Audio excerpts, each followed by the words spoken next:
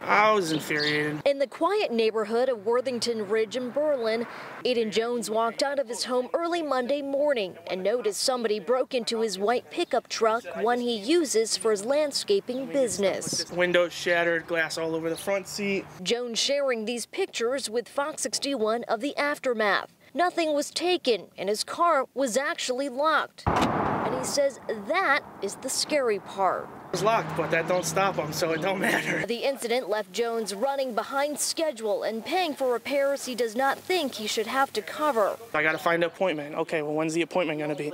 I got to go clean the vehicle. That takes anywhere from 30 minutes to an hour, if not longer. Um, you know, so it's just it's a whole burden. Then you got to go through insurance or pay out of pocket. Berlin Police Chief Matt McNally says it is happening everywhere and not just Berlin. The thieves, he says, are peeking through car windows first.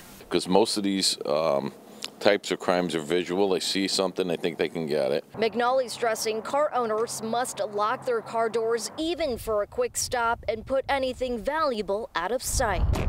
But we asked, what about those like Jones who do lock their doors and still get victimized? I know there's a couple task forces working on identifying them, and uh, you know we're trying to bring different groups in